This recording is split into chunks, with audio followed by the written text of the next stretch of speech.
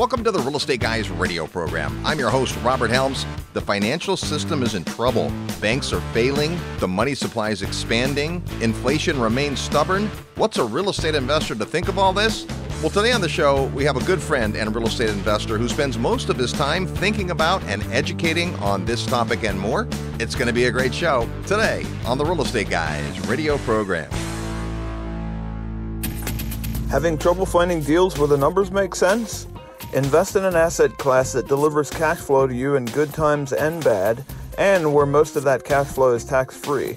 I'm Dave Zook. Many of you have heard me speak at Real Estate Guys events or heard me on their podcast. My team is a top five ATM operator in the country, and right now, accredited investors can make cash flow returns well into the double digits and get huge tax deductions. For your free report on this lucrative asset class, email atm at realestateguysradio.com. Welcome to the Real Estate Guys radio program. I'm your host, Robert Helms, and joining me in the co host seat, it's our financial strategist, Russell Gray. Hey, Robert. You know, things are crazy. Oh my goodness, it seems like every week there's more and more to talk about. But this whole bank implosion thing, I know you did a Facebook Live on it, Russ. We've had lots of people reaching out about it. Uh, our friend Robert Kiyosaki had an emergency podcast. I mean, things are definitely changing fast. Well, I think that anybody who has been around long enough to remember 2008 as an active investor, and there's, you know, it's 15 years. So there's people that were 20 years old, college, not paying attention that don't really remember investing in that type of an environment and they've never seen a financial system collapse. I remember when 2008 happened, I, my partner in the mortgage business had been in the mortgage business the last time the uh, savings and loan crisis came and he goes you know it's just like a light switch. When the credit markets collapse it's just it goes from there's loans and things are happening to nothing. It's a ghost town and I couldn't comprehend. He tried to warn me. Robert Kiyosaki was talking to us about what was going on in the financial system back uh, approaching 2008, warning us about the impact it would have on real estate being so dependent upon the influx of capital, mortgage money, credit and sensitivity to interest rates. And of course, I didn't have any macro education. I didn't have any understanding of how the plumbing worked or how the money made it to Main Street. Didn't think it mattered. Thought I was safely insulated. Hey, I'm a Main Street guy. I left Wall Street behind a long time ago and uh, we thought we were safe. And you know, little did we know when that bomb went off, it took out the mortgage company, it wiped out all the equity, it made all the credit lines go away. All of a sudden, you go from being liquid to having no liquidity, no operating capital, and you're shell shocked. It took me about 90 days after that happened just to realize okay, there's no quick fix. This is going to take some time. Course, we found the opportunity in that in private capital and syndication, and that changed our business. But it put me on this crusade to understand what happened, why it happened, how to recognize this, the signs, and who is really qualified, who knew. You know, Peter Schiff is a guy that we sought out as a result of that. And, and we started finding people that really understood these things and paid attention and followed them.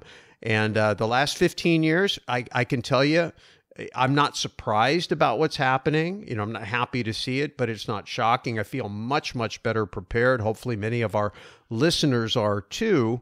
Uh, but I'd encourage you, if this is your first rodeo, just pay attention. Uh, things can change very, very quickly, and nobody knows exactly what's going to happen, but there's a lot happening. Well, back then, you were active in the mortgage business, had a lot of loan officers working for you. In fact, I remember you were at a conference and it was sponsored. The night's gala event was sponsored by one of the big wholesale lenders and they went out of business that day. That day, it went from being a gala black tie to a wake, and every it was just like going to a funeral. Everybody was crying.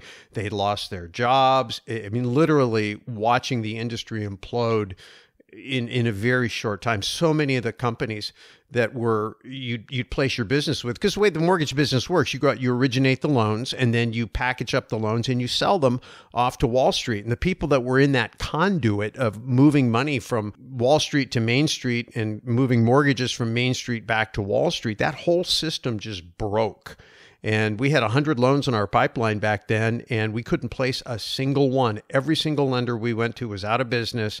And the you know you go from having a very successful mortgage practice to having no income and nothing but overhead, and it can take you down real fast. Boy, it sure can. And I think that's really the topic today. People are concerned with what's happened at Silvergate and Silicon Valley Bank, and is my money safe, and all of those things. And I think before we can even attempt to answer those questions, we need to have a, a better understanding of how the banking system works. Our guest today is no banker, and he is actually a macroeconomic guy who is like you, Russ, self taught.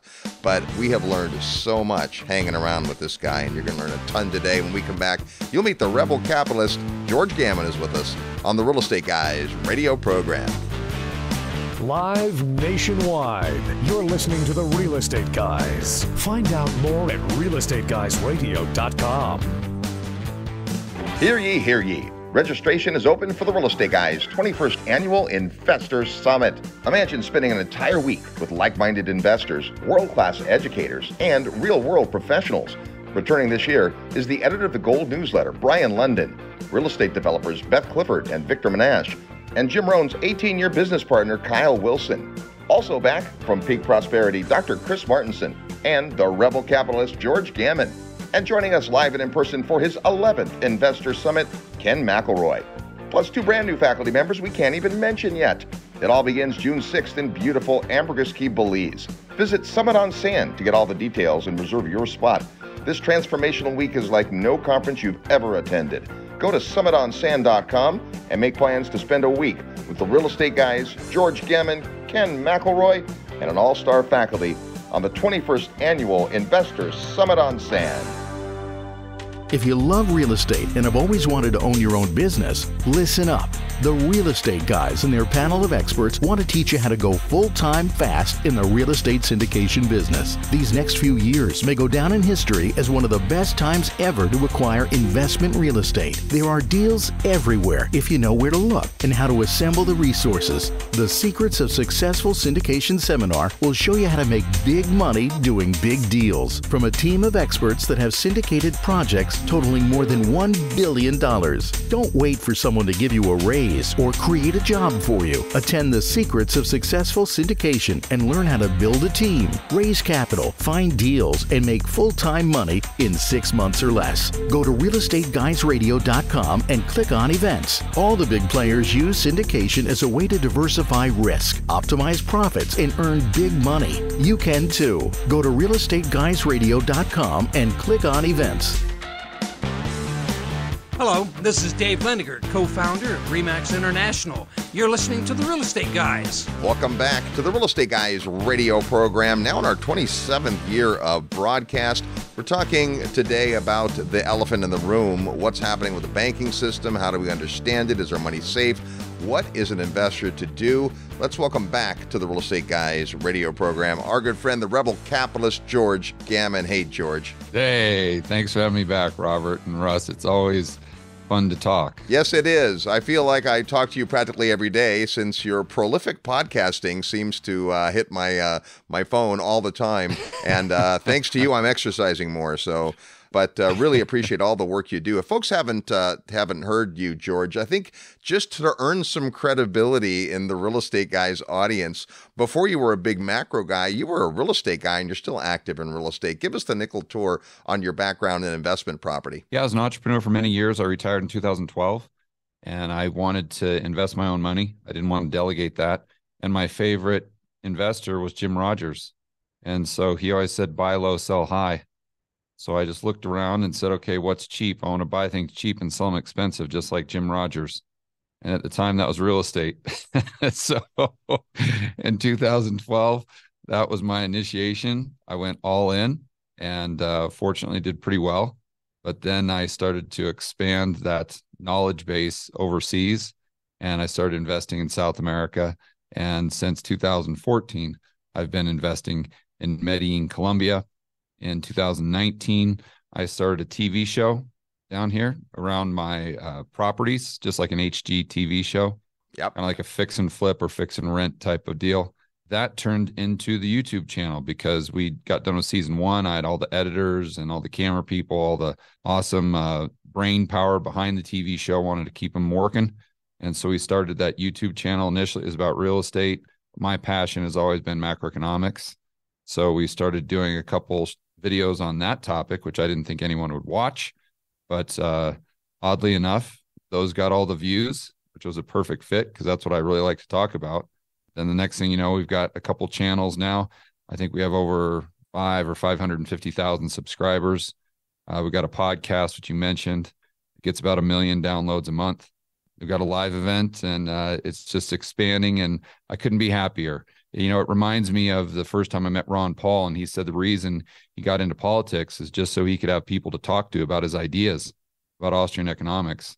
And it really resonated with me because that's the exact same reason that I continue to do the YouTube channel. It just gives me an outlet to talk about these ideas with really smart people like you guys. Love that. Well, uh, we'll tell folks before they're done how they can uh, find you if they haven't yet. But uh, one of the things I appreciate about you is your methodical nature of looking under the hood, figuring out how these things work without a classical background in that. And this is a time where people are uncertain, unsure. Is my bank safe? All of that. I think before we talk about what happened at Silicon Valley Bank, maybe just take us through, you know, the macro picture on how banking really works and maybe the parts people usually don't understand. I think think the biggest mistake people make is they think that when they give their money to a bank, the bank takes that money and puts it in a vault. And then when they come, you know, to get the money, that uh, 10% of it is there. And therefore, you know, assuming that they don't have too many people ask for their money, the bank just goes over to the vault, hands it to them, and that's it. Uh, what they don't understand is when you give your money to a bank, you're lending it to them. They're not putting it in a vault. They're taking that money and they are utilizing it uh, in whichever way they want to, uh, whether that's buying treasuries, buying mortgage backed securities, whether that's taking that money and lending it to a, a cash flow negative tech company that's most likely going to go out of business. Uh, that's what people have to realize. And it just really astonishes me that if you had a million dollars and someone asked you to borrow it in like a real estate deal, you'd do some proper and some serious due diligence. You bet. Assuming that was a significant portion of your net worth, uh, because you'd want to get paid back. You'd want to know, hey, what's the collateral? What happens if I don't get paid back? Uh, but for some reason, people don't look at banks in that same capacity. Uh, they just say, well, who has the highest interest rate and who has the most, you know, the most friendly customer service? and unfortunately, that's not the way to do proper due diligence on a bank. In fact, if you want just a quick tip, especially now, you probably want to gravitate towards banks who are actually paying you less, not more, uh, because the higher interest rate they're paying you, the more desperate they are for your deposits. And that means the more risky they are. And so I would kind of use that as as a, a little bit of a gauge for the average Joe and Jane that if you got one bank that's only willing to pay you 50 basis points on a checking account, you may say, "Oh, that's terrible. Uh, I can go over to this other online bank and get three percent."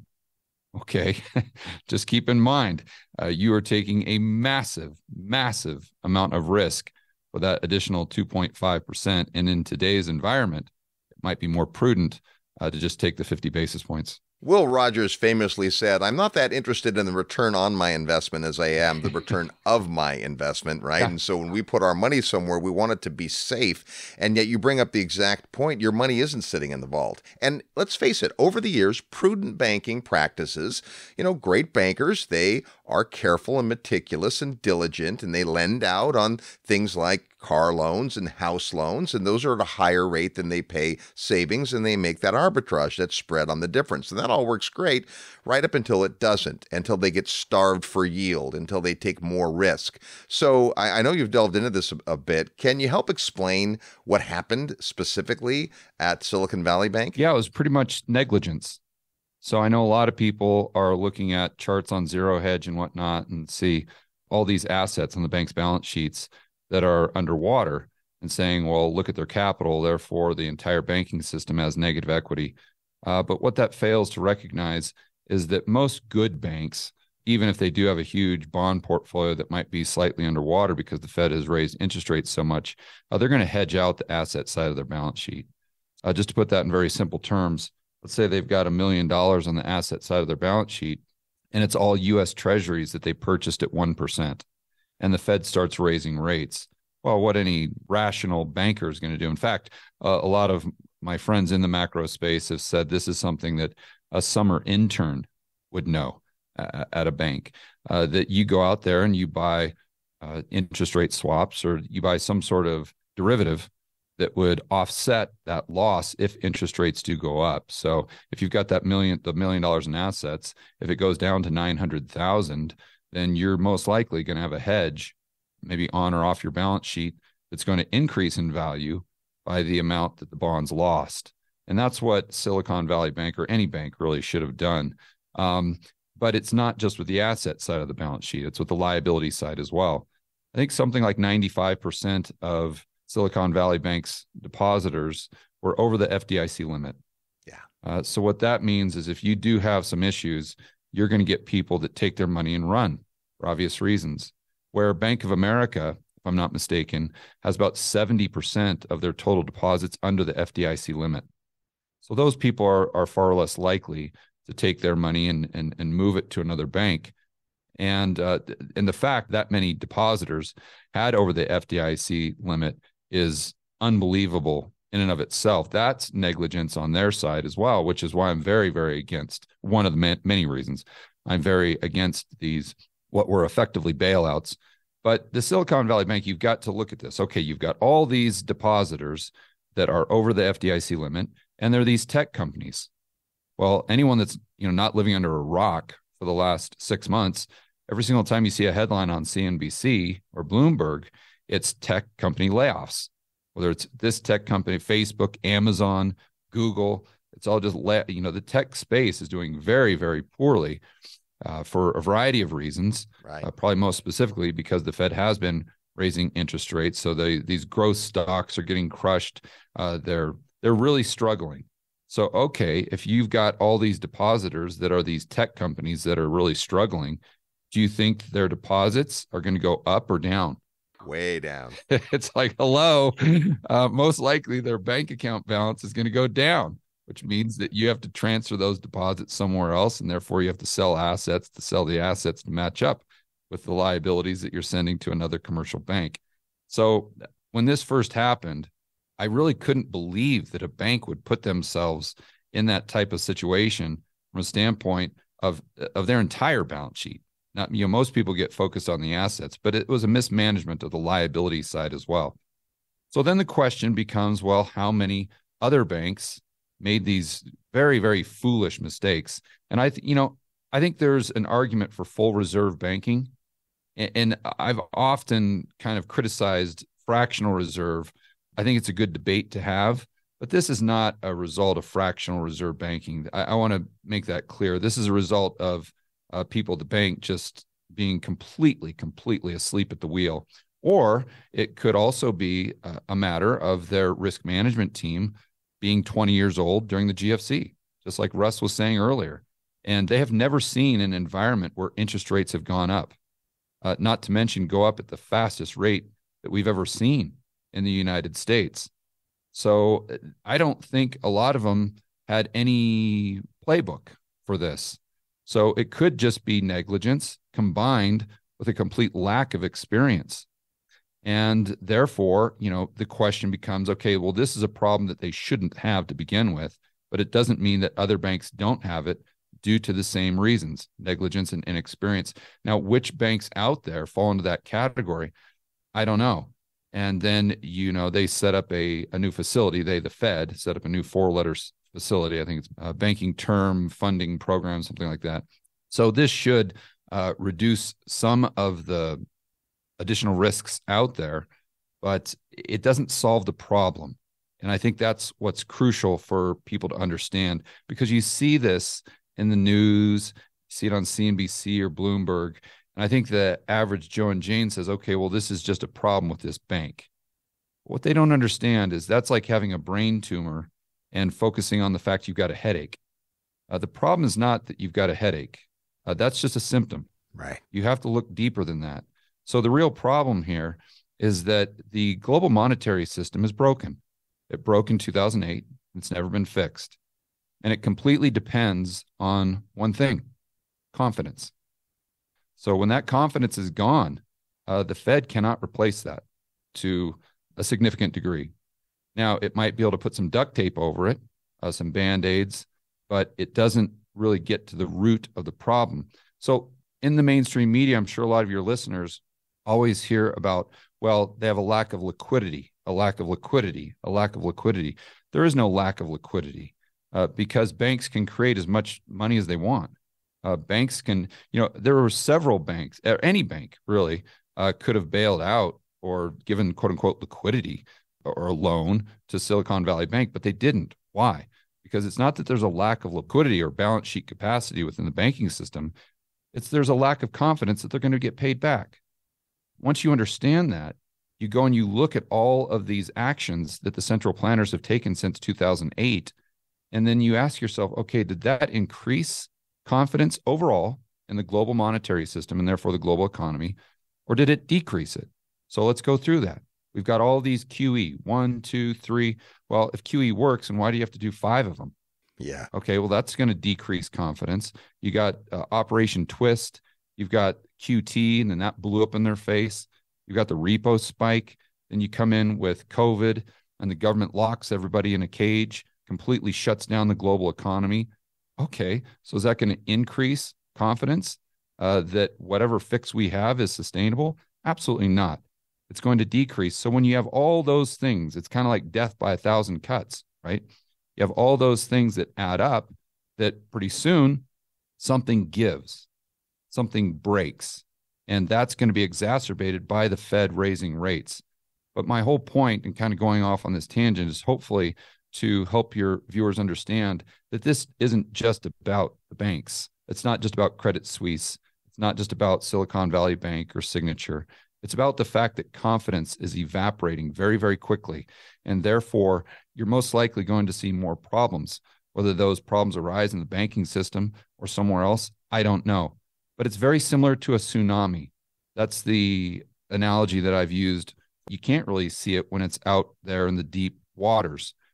Um, but you've got some buoys out there with technology. You know, you've got those things that are underwater that can track that tsunami that's coming toward the shore. Right. And that's in, in economic terms or financial terms, that's called the bond market and the inversion of the yield curve. That's that buoy that's out there that can measure the velocity or the power, the strength of that tsunami that's coming out uh, at you at 500 miles per hour. That if you were on a boat out there at sea, you wouldn't even notice it. it would, you couldn't even see it. It would go right under you. You'd be like, huh, it might be a little wave or something, but you most likely wouldn't. You only notice when it starts getting very close to the shore. So the bond market and the inversion of the curve started at least nine months ago. Yep. And it got more inverted and more inverted. And it you started to see more and more and more of these cracks, more of these signs, which for anyone that was paying attention, you realize that there was a tsunami coming right at us. Now, you don't know where that tsunami is going to hit. You don't know how powerful it's going to be. You don't know how it's going to play out, but you know that that's coming. And so, my point is this tsunami is still coming at us. This is just the beginning. Uh, this is what we saw with Silicon Valley Bank and what we saw with Signature or Credit Suisse. That was not the tsunami. That was just kind of some more of those warning signs that were coming from those buoys it's still coming at us at 500 miles per hour. And I think that's what people really need to recognize. And how do you do that? Uh, you pay diligent attention to the yield curve. And if you want to, I can explain that further. Well, in fact, you uh, cover this well on uh, your uh, podcast and your videos, but uh, take us take us through it because people hear about yield curve inversion and maybe they understand that has to do with the return rates based on a timeline, but that's about as far as it goes. So so take us through why that's so important, why it's such a critical indicator. Yeah, the simplest yield curve to look at is the 2-year and the 10-year. Yep. The Fed and some of the financial types look at the 3 month and the the 10 year to get a little bit better timing but most people they just look at the 2 years. so as you would imagine the longer you lend money to someone the higher the interest rate yep higher the risk uh, that they're not going to pay you back the higher the risk of inflation they're going to pay you back with devalued currency units. So when you get an environment where the longer you lend money to someone, the less interest you charge, that's highly unusual. Yeah. That is not an indicator of health in the global economy. What that means is so many big money institutions out there believe that the interest rates will go lower in the future because of some sort of crisis situation, recession, economic depression, et cetera, that they're trying to hedge out the long side of their portfolio. So if they've got all these stocks, if they've got uh, you know a lot of real estate, something like that, they're going to go ahead and also buy bonds. So if their real estate or if their stocks go down, most likely the price of those bonds go up, the yield goes down. So you see a lot of demand on the long end of the curve for people kind of hedging their bets, if you will. So what that does, because there's so much demand for people in these very sophisticated financial institutions, there's so much demand for them hedging their book by buying treasuries. You see the yield on the 10 year or the long end of the curve go lower than the front end of the curve. In this case, we're using that two year and that 10 year. Yep. And so, why does this matter or how powerful is this indicator? If we go back to 1950, it's predicted every single recession we've had. It has a 100% accuracy. Now, there was only one time that it inverted and it did not produce a recession. That was in 1965. But I'd like to point out that although it didn't create a recession, GDP went from 10% down to 0.2%. Wow. So a decrease in GDP by 10%. Now, technically, is that a recession? No. But if you ask the guy in the street, it has the exact same impact. It's just that GDP didn't go negative. So, in my opinion, the yield curve has 100% accuracy. Now, what it can't tell you is, is when you're going to get that recession. And so there you have to look at other things, uh, such as you know the use of the Fed's discount window, uh, the use of swap lines, and also you have to look at the front end of the curve and look at the delta between like the four week Treasury and reverse repo. Now I know that gets very technical, and I can explain those. But getting back to the yield curve, we saw this invert back nine months ago, and it got more inverted and more inverted and more inverted and uh, again, this is that buoy that's out in the middle of the ocean that's sending this signal to anyone that's paying attention that, hey, this tsunami is coming at you.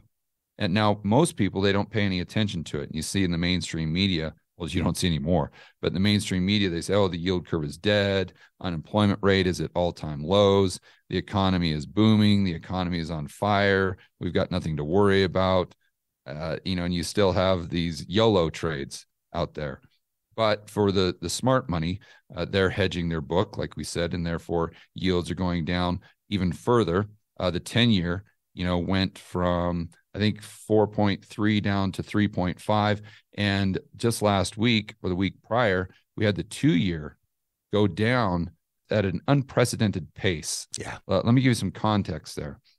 Uh, right around Silicon Valley, uh, bank blow up, you had the two year Treasury yield go down by over 100 basis points over 100 basis points now for most of your viewers that don't pay any attention they, they probably don't know what that means but during 1987 black monday i'm sure most people remember that the two-year treasury yield went down by 100 basis points 9-11 terrorist attacks the two-year treasury went down by 63 basis points and during Silicon Valley, from peak to trough, it went down by about 120 basis points.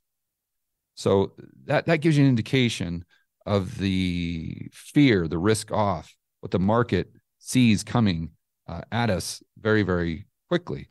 That's just an example of how you can not only look at the yield curve, but look at what the interest rates are doing within the yield curve to have uh, uh even more of those signals or more of maybe the timing component behind you know what may play out in the future. But uh, what most people need to focus on now is not necessarily the inversion of the curve, it's actually the steepening of the curve. Because if you look at charts, you see that the recession or economic depression, global financial crisis, whatever, it almost always comes after the yield curve um, uninverts. I'm not sure if that's a word, but once the yield curve is no longer inverted. So what you see is you see if you're looking at a chart of like the uh, the the 10 year minus the the, the two year or the two year minus the 10 year, excuse me, uh, then you see that go negative, and then that's not when you get the recession. When it starts going back up and goes above zero again, steepens out, uninverts, that's usually when you get uh, you know that right hook from Tyson. So that's what people need to be focusing on right now. I think as we speak, the yield on the two year is about 4.1, maybe 4.2. It did last week, it did dip down as low as 3.7, if my memory serves me right. And the 10 year was at 3.5 roughly. So it got very close to uninverting last week. Now it's kind of inverted a little bit more now, but you know this is a gradual process.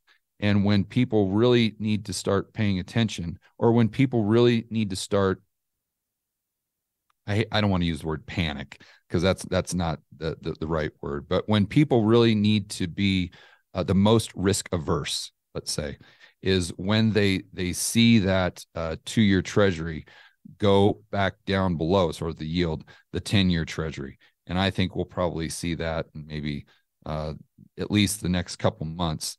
And, um, you know, to add to that, you look at the prediction for the Fed funds rate. And prior to Silicon Valley Bank, you know, the what they call the neutral rate, the market was predicting, which means that, you know, what rate is the Fed going to get up to before they pivot?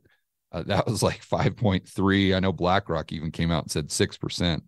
And then as soon as you get Silicon Valley, like a week later, it's the the predictions now. If you look at the market curves, uh, are for the Fed not only to pivot, but by the end of this year to go down by 120 basis points. So to so not just uh, you know stop and stay here at 4.75 whatever they do today, but to go down and to reduce rates by 100 or 120 basis points by the end of 2023. So that should, uh, in and of itself, I think, should make people pause and kind of take a step back and say, wait a minute, you know, how much risk am I exposed to here with my personal portfolio? Uh, another thing I'd mention is going back to that discount window. Uh, the swap lines and the four year, that gets a little, or the four month, excuse me, four week, that gets a little esoteric, and I'm happy to dive into that. But the discount window is something that everyone can really understand. Yeah. And this is uh, the uh, facility that the Fed has available for banks that basically are, are really, really in trouble. And uh, they've got assets on their balance sheet. They need the, the liquidity. No other banks will give it to them, although they have the balance sheet capacity. And they've got no other option. And uh, why is the discount window so bad? Uh, because it comes along with a stigma so if you're a bank that goes to the discount window, all the other banks are going to know that. Yeah. And it's going to be very unlikely that they're going to do business with you moving forward. Why would they? You know, if you were a bank and you knew that one of your uh, associates or one of your uh, fellow banks went to the discount window, uh, just hat in hand, are you going to be eager to go out there and you know do business with them moving forward? Absolutely not.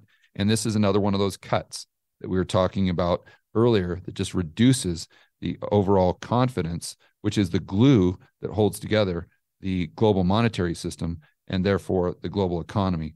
But you go back to GFC 1.0, we'll call it, and the discount window was being used to the tune, I've got the chart in front of me up here on the whiteboard, to the tune of about $100 billion.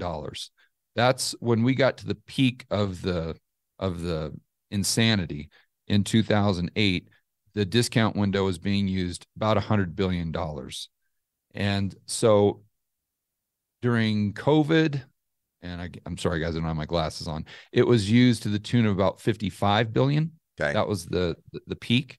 And just the other day, it got up to 160 billion.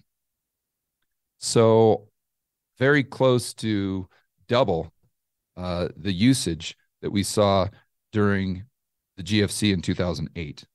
So that that in and of itself should tell you uh, how precarious the uh, the world is right now. And this is not just the United States.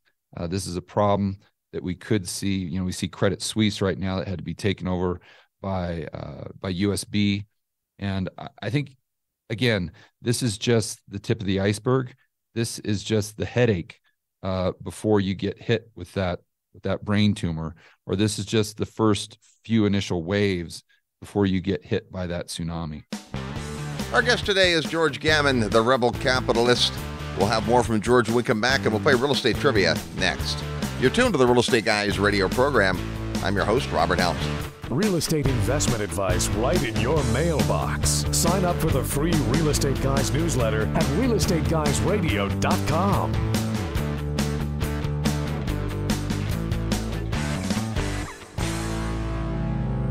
Real Estate Guys listeners, are you tired of losing real estate deals due to financing issues? Have you had enough of waiting on banks, lenders, and investor groups to fund new projects?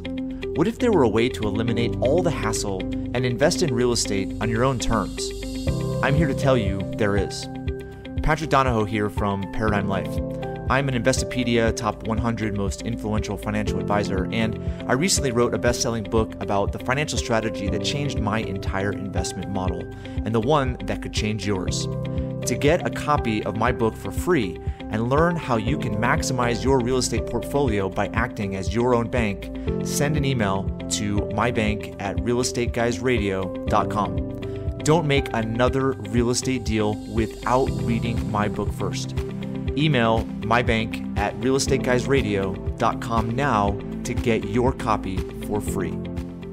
When it comes to successful rental property investing, it pays to be picky. Pick the right markets, pick profitable properties, and pick great property management. That's easier said than done, but we've got great news. Terry Kerr and his rockstar team at Mid South Homebuyers are going strong in Memphis, Tennessee, and Little Rock, Arkansas, too. So, for a top notch turnkey single family home rental property, whether you're a new investor or have a large portfolio already, pick Terry Kerr and Mid South for a truly A plus investing experience. To learn more, send an email to midsouth at realestateguysradio.com. That's midsouth at realestateguysradio.com.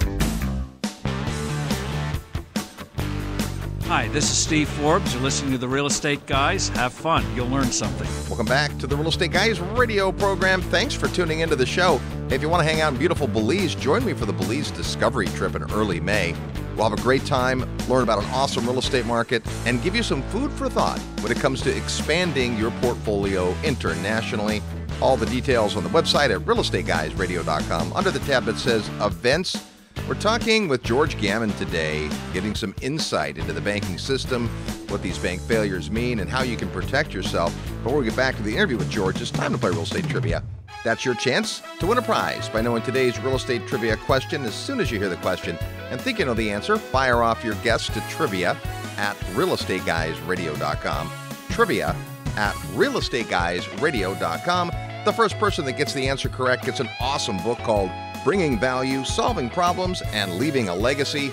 A collection of amazing stories put together by our friend Kyle Wilson. That could be yours if you know today's real estate trivia question. Last week we had Brien Lundin on the program. We asked this Louisiana is the only state that doesn't have counties. What does it have instead? Well, in Louisiana, they're not called counties, they're called parishes. Happy to be heading back to Louisiana for the 49th annual New Orleans Investment Conference. Get the details by sending an email to New Orleans at realestateguysradio.com and be invited to our legendary Real Estate Guys party.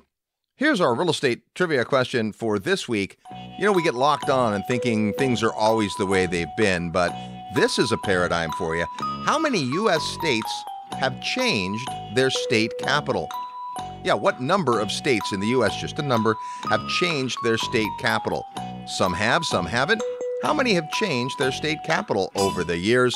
If you think you know or just want to pick a number, send it off to trivia at realestateguysradio.com. Trivia at realestateguysradio.com. Give us your name, your physical mailing address, and the answer to the question.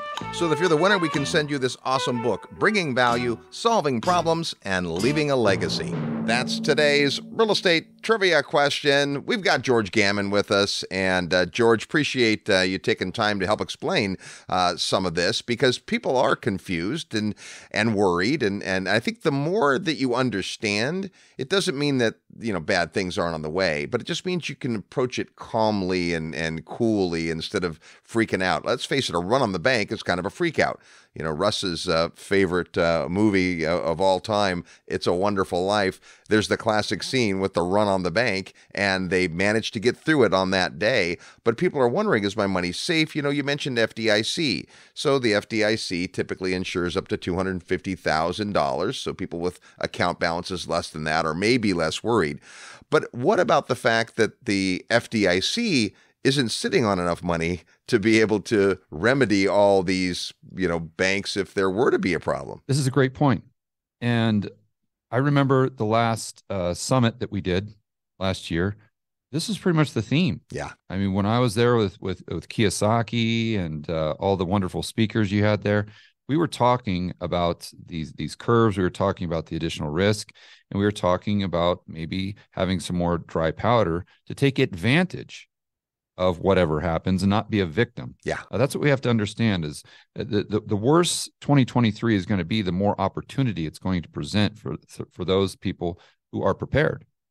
And so how, how do you do that outside the FDIC limit? Let's say you got $10 million. It's very easy. T-bills. Do what the pros do. Buy T-bills. And this is something I've been talking about with uh, you know, the subscribers in Rebel Capitalist Pro. We've been talking about it Rebel Capitalist Live. I'm sure you guys have been talking about it if you've got a ton of money in a bank, first and foremost, diversify. Yeah. And and secondly, um, whatever money you need in addition, or whatever money you have that you don't need for working capital, for heaven's sakes, just put it into T bills and and roll it over. And there, the counterparty risk is the government instead of the banking system. And it's what all those tech companies, quite frankly, should have done that had deposits at Silicon Valley Bank uh, but they didn't do because they were completely asleep at the wheel. And so, but th- this brings up, I think, a, a much more important point, Robert. Yeah. Because assuming we do have more of these problems that show up in terms of additional perceived risk to depositors, because you're, you're right. You know, the FDIC has, let's say, 150 billion, something like that, and they could have handled uh, Silicon Valley Bank. Uh, they, they, in fact, they they did handle Silicon Valley Bank and the depositors there and Signature and whatnot. But there's let's say 18 trillion in deposits. They, they they they can't handle that. So now what we have is an implied FDIC limit of infinity. Right. Because all of these depositors that should not have been bailed out uh, because they're over the FDIC limit did get bailed out. So a lot of people, average Joes and Janes, would say, well, George, that's a good thing because people shouldn't have to worry about their bank going under. They shouldn't have to worry about these bank runs. I mean, aren't we sophisticated enough to where we can put this type of activity and this type of risk behind us? And this is something that we had to deal with in the 1930s, for heaven's sakes, something we had to deal with in the 1800s. Okay, it's 2020 now, it's 2023. You know, can't, with all the digital technology that we have, can't we figure out a way to where people don't have to worry about their bank going under or taking all of these precautionary measures like buying T-bills? This is a very da- dangerous narrative, very, very dangerous. And it's something that I would encourage your listeners to think through and really push back against. Yeah. Why? Because it, you have to look at the slippery slope you're on. If people start saying, okay, well, the depositors should have no risk whatsoever. That end game, where that road leads, its logical conclusion is a central bank digital currency. Why is that?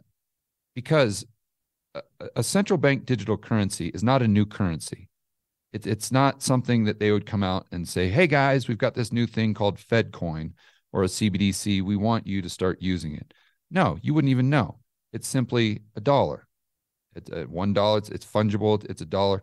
And I always encourage people to do a thought experiment and ask yourself, how do you know that they don't have a CBDC right now? How do you know you're not using one? Right. Like when you go down to the local Chipotle or Whole Foods or whatever, put gas in your car, how do you know you're not using a CBDC? Because they haven't announced it. See, what people have to realize is that, that we already have a CBDC. It's called bank reserves. And the bank reserves that are dollar liabilities of the Fed, those uh, effectively are a CBDC. So the banks already use these, right? So the only thing that's different is not the form of money or what we call it. It simply is the liability is your dollar. So if you're if you're a listener right now and you've got let's say ten thousand dollars in your bank account at Wells Fargo, that ten thousand dollars that is your asset is a liability of Wells Fargo. Okay, all a CBDC is is that liability moving from Wells Fargo's balance sheet to the balance sheet of the Federal Reserve. Boom, there you go. You got a CBDC. So my concern is if people don't understand that, you know, they've they've got the CBDC thing on their radar. For people who are advocates of freedom and liberty and free market capitalism, they've heard of this CBDC and they know that this is this is no bueno. Uh, but I don't think they're aware of the plumbing enough to realize that if they just came out with another cri- if if we have another crisis here and they say listen we can't we want to make the depositors whole but we've got 18 trillion in deposits and the FDIC cannot cover that. So what we need to do is just move these deposits to a bank that cannot go bust. And you can hear the narrative now right? Why on earth do we have all these average joe and janes and businesses that we rely on to build the economy? Why do we have them their deposits with these commercial banks that can go bust. This doesn't make any sense. Why would we not take these deposits and move them to a bank which we know can't go bust? And there's only one bank that fits that that uh, description, and that would be the Federal Reserve. So that's how they sell it to people that haven't done the homework to realize that a CBDC is just simply just simply means that the dollars are a liability of the Federal Reserve instead of a commercial bank. And so I think that's the road we're on right now, especially when you can, if you are someone that believes that we haven't seen the, the, the most powerful point of that tsunami hit. And, you know, that's the logical end game here that they say, well, we want to secure all depositors. There's not enough in the FDIC. Therefore, let's just move all the those deposit liabilities to the Federal Reserve. And then wham bam, people wake up and they they don't even realize that effectively you have a central bank digital currency. Lot to think about, that is for sure. Now, every day, practically, you're sharing thoughts and ideas, and uh, we're appreciative of that. George, I think as you look ahead, uh, the the real question is, what kind of moves can I make? And the first, foremost, absolutely is education. The more you understand, the less freaked out you'll be, and you'll be able to stay a few steps of, ahead. And I think that's really the thing. As I, I know, as we've watched, you know, your star kind of rise and your listenership and viewership grow so much, it's because you're practical and and you're not flaring people up about it. You know, you didn't even want to use the the word panic. So I think cooler heads will prevail. And let's face it, any change that's going to happen at a systemic you know level is outside of any of our control. Mm. So it's not what happens, it's what you do about it. Yeah. So T bills, first and foremost, if you've got and diversify your bank accounts, diversify your banks. If uh, you know you're worried about that FDIC limit, that's number one. Yep. Then once you do that, if you're concerned about the the future of a central bank digital currency, or again, just to be very clear, just simply those deposit liabilities going to the, the, the Fed's balance sheet, which gives them the ability to have that kind of Orwellian type of uh, power that most of us are uncomfortable with. Yep. With that, it's all about community, 100% about community. So, why? Because I'm of the opinion, especially when you look at 2020, unfortunately, society, when they are in a position of fear, doesn't need to have tyranny thrust upon them. They actually demand tyranny. And this is a very scary situation. So you go back to 2020, and it's not like the initially, yes, the government did have to force this upon people as far as being locked in a cage. But then people just started demand it, demanding that they have this tyranny thrust upon them. You know, I, I demand that you lock us down even more, government. I demand that you force me to wear a mask. I demand that you force me to inject a, a foreign substance into the veins of my children. And I think that it's it's the same type of situation when we're talking about these depositors being at risk. They not that they have to force people to use a central bank digital currency or that form of tyranny, but people actually demand it, the average Joe and Jane. So what that means is when you go to buy something, there would need to be some sort of point of sale software that was connected to the network because in order for the Fed to get the information, the data they need to have that Orwellian control, let's say set up a social score, uh, they would have to know that if you go to Chipotle, are you buying steak or are you buying tofu? Because steak that goes against your creb or your carbon score or social score. Tofu that benefits your carbon score or social score. So I think in the future, the way they'll lay that the way they'll roll this out is make it voluntary, but they'll force the businesses to have this uh, point of sale software to to collect that the nuance of the data. So it's not just about how much you spent, but it's about what you bought, or it's, so it's, right now it's about where you bought it and how much you spent. So if you go to your Wells Fargo bank statement, you can tell if you went to Chipotle and spent twenty bucks, but you can't tell if you got steak or tofu. And so they're going to have to implement that system. And I think what that will do is, regardless of how you pay, whether you pay with gold, Bitcoin, silver, cash, uh, you have to give your fingerprint. I mean, I did a, a, a tweet today where uh, uh, Panera Bread in, in St. Louis is doing this new system where you have to pay with your palm.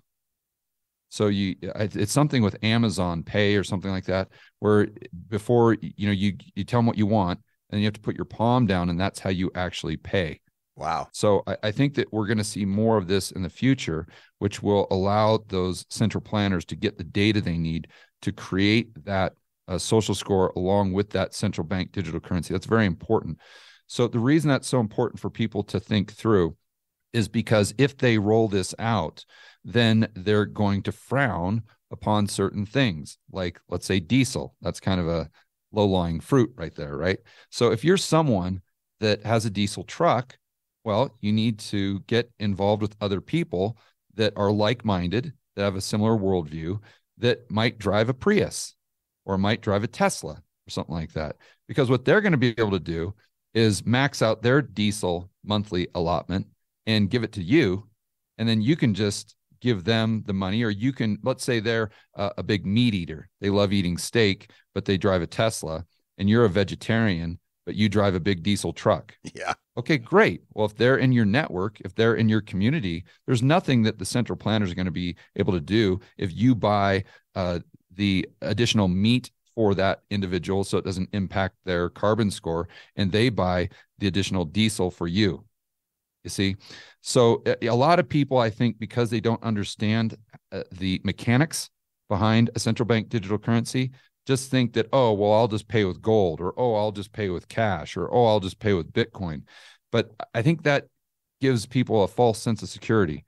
Where I think what's most, although that's good, absolutely, to have purchasing power outside of the banking system. I think it's very important for people to own physical gold, physical silver, and to have some Bitcoin but I don't think that's a panacea. And I think what's even more important is to have that community around you that you can depend on, that you can rely on, other people, other human beings, for heaven's sakes. uh, and and if you have that strong community, then I think that's the best way to kind of weather the storm. Totally agree. And I think that is overlooked today with people being able to sit in their house and Zoom and still locked down out of social situations and all that. I mean, it's getting better, but it really is about community. We love that. Speaking of community, your community is getting together for Rebel Capitalist Live. Super excited to be with you there in uh, beautiful Orlando, Florida. That is coming up in May tell us about some of the folks you have coming to Rebel Capitalist Live. Yeah, well, thanks for asking, Robert. You're going to be emceeing, so I'm super excited about that. I'm sure Russ is going to be there. We'll have him do a panel discussion uh, like we did last time. Uh, got guys like Peter Schiff is going to be there. I'm sure your audience has heard of him. Also, Mike Maloney. We're very excited to have Mike there. We've done about four of these Rebel Capitalists, and it's the first time that we've had Mike at a show. We're going to have Lyn Alden, We're going to have Brent uh, Johnson. We're going to have Jeff Snider. We're going to have Robert Barnes, who uh, is the the lawyer I'm using with the the lawsuit that we have against uh, the Federal Reserve, and uh, we've got Kenny McElroy. Your audience might be familiar with him, and and several others. So if people go to maybe you'll have a link on your website. Yeah, if you want to come to the event, it it's it's two days and it's extraordinary. And not only are the speakers first rate, and if you uh, were at all enticed by our conversation today, you're going to want to get around some of these smart people, but also the attendees are just great. The people that show up back to building community and building tribe, we're, as you know, big fans of that. All you have to do to learn more is uh, send an email to RCL, like Rebel Capitalist Live, RCL at realestateguysradio.com. You get all the details about the event. Come hang out with us. Can't wait for it, my friend. Thanks so much, George. Yeah, thanks for having me on. There's George Gammon. You can find out more when you send your email to Rebel Capitalist Live. So that's RCL. Just use those three letters, RCL, at realestateguysradio.com. Not only will you get a link to sign up to the event and learn more about it, but we'll tell you all things George Gammon. He's got amazing whiteboard videos. He's very prolific out there uh, in the podcast world, and uh, just really appreciate the work that he does. When we come back, you're tuned to the Real Estate Guys radio program. I'm your host, Robert Helms. Need help with your real estate investment portfolio? Check out the resources page at realestateguysradio.com.